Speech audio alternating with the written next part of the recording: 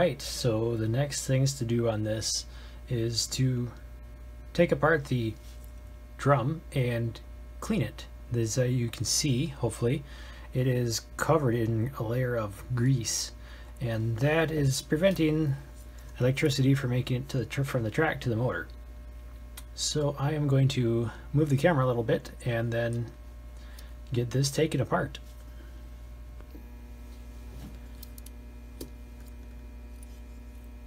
So there's two screws that hold this reversing mechanism onto the frame. One here and one there.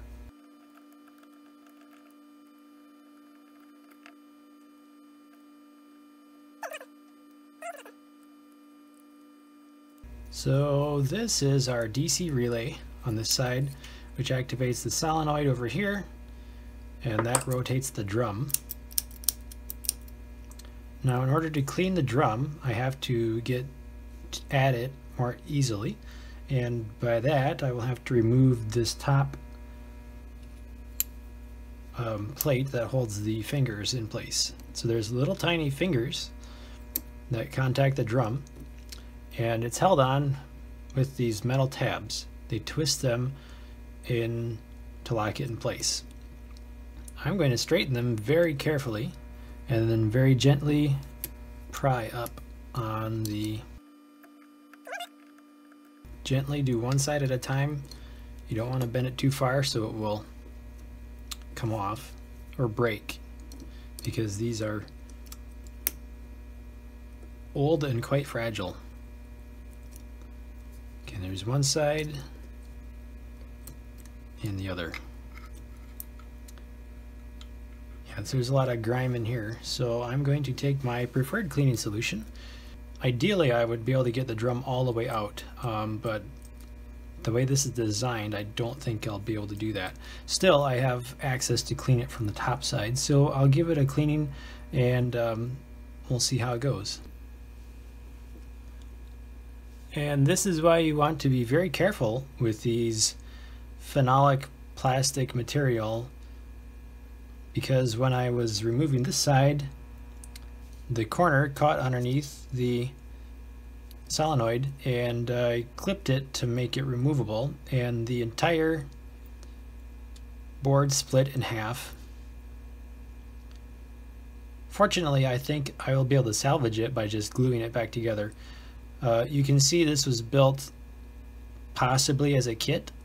There's a poor solder job on this finger it uh, it's just balled up. So I will reflow the solder on there to make it a little bit better.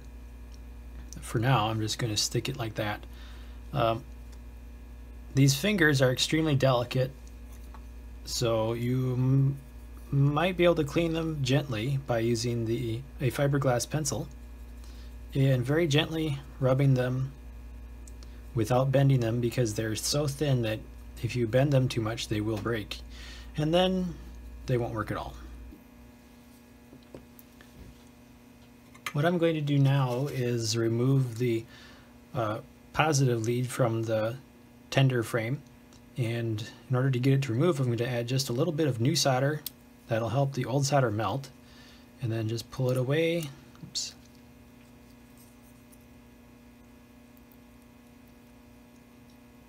Um, a lot of these old locomotives were actually kit built and this wiring job even though it's the factory wiring, it sure doesn't look very nicely done.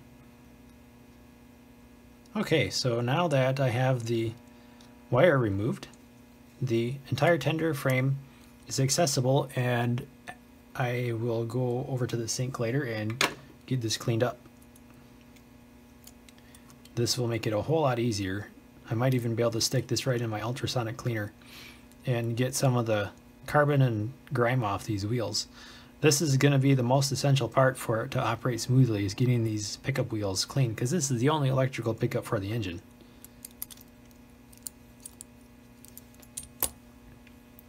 Now that that is removed, I have access to the drum and I'm going to first take some cleaner and just gently Go around and clean as much as I can.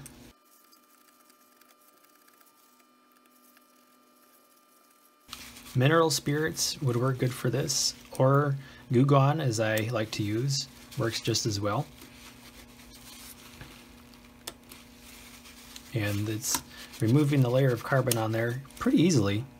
Uh, after that, I'm going to take Q-tips and go over it and then polish it bit by bit with the fiberglass pencil.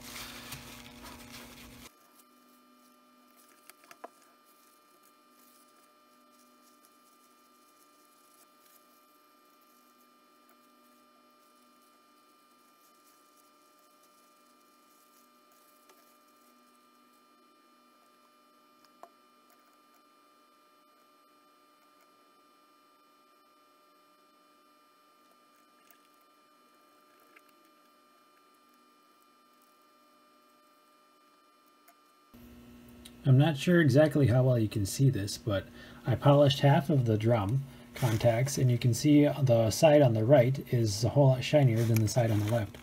It's very tedious and time consuming, but the result is worth it for smooth operation of the reverse mechanism.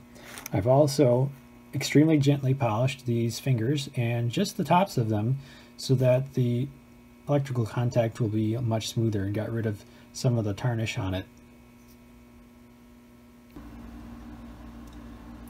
So I was able to repair the um, plate that holds the two fingers on by supergluing it back together and the super glue seems to adhere pretty well to that old phenolic material. I also sanded off the tarnish and uh, reflowed the solder on one of the um, soldering points. This wire, not sure how well you can see this, but I these old wires are also quite tarnished and so I just rubbed some sandpaper over it to get rid of some of the oxidization. That should help solder stick to it a lot easier. So then I will be able to tin this and the other one. I'm also adding a tiny piece of heat shrink on each one so, so that will keep the ends of the wires from the cloth from fraying any more than they are already. Because this cloth insulation you can actually slide back and forth. As you can see, hopefully this one is pretty tarnished, but I'm going to try sanding this a little bit and then um, put some fresh solder on there to get it to stick back together. Once that's done, I'll be able to reassemble the reverse mechanism and then the next steps after that will be to clean the tender wheels and I will be able to put it together and test it. Alright, so at this point I have the wiring repaired on this side and I have it set in place on its pins. And um, you really have to have patience for this almost more patience than I have because if you it can be tempting to slam these down onto those pins and uh, because that material is so fragile don't do that. It will break. So you really really need to be very gentle when installing the phenolic board onto those pins Actually, this one is crooked because the way it glued together. You can see the cloth wiring has been resoldered into place and heat shrink added to the ends of the wires and it looks pretty good I think. So now I'm going to work on cleaning the wheels on the tender and that is extremely boring and tedious so I'm not going to record that. But it is essential for smooth operation on the tracks. Once I am when I come back, then I will work on putting the whole thing together and testing it. Alright, at this point I have the wheels cleaned on the tender and the reverse mechanism screwed back down onto the frame. Now I can apply power and nothing happens. Now this style of reverse mechanism uses a DC pulse to trigger this relay. Now I can mechanically activate it by pressing down on the top of it, which is the only way I can reverse it currently. So the DC relay activates the solenoid in the back. The solenoid in the back pulls the lever which turns the drum and the drum then changes the polarity of the field and rotor in the engine and changes the directions of the wheels. It's a four position so every other position is neutral so it goes forward, neutral, reverse, neutral. Very interesting complicated design but then you have directional control on an AC powered locomotive. Let me show you this. This mechanical reverse mechanism is very similar to the ones used on the larger S scale locomotives. The biggest difference is the size, and this is one actually from a late 50s American Flyer locomotive. This one has the same drum on this end and the same uh, pickups or the uh, same fingers and everything. The difference is that the solenoid on this one is always powered. So and it changes based on whether it's on or off. So this one, the solenoid runs all the time when it's changes the direction every time you add or remove power. But on the HO scale one, the solenoid is only live when the relay is activated. As is the nature of these, they tend to be very finicky, but so far this one is running pretty good. Alright, the next things to do is to test this by taking it over to the track.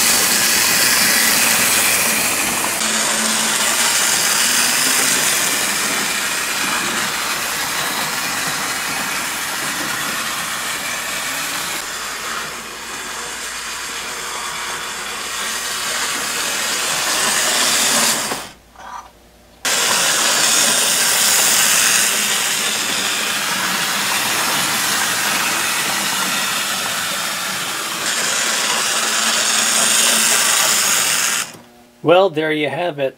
I was having so much fun running this one around the layout, I almost forgot to stop it to film the conclusion here. Anyway, this is the second of the three pre-war American Flyer Gilbert H.O. Hudson locomotives that I am in progress of restoring. The third one is in progress as well, and you'll see that video after this. So this locomotive definitely has a lot of cosmetic damage. There's paint missing all over the place. The, the headlight lens is missing. The tender has warpage on it, on the shell. The pilot is broken off. Um, However, this one actually, after redoing the engine, is one of the, the quietest so far. It's actually quieter than the other one. And uh, I'm pretty happy with how this one turned out. So if you like this video, why don't you help me out with my channel and subscribe if you haven't already and leave me a like and a comment. And you can also check out my older videos. I actually have well over 100 videos at this point on my channel. And as always, stay tuned for a new video every week or so right here on My Grandpa's Trains. And thanks for watching.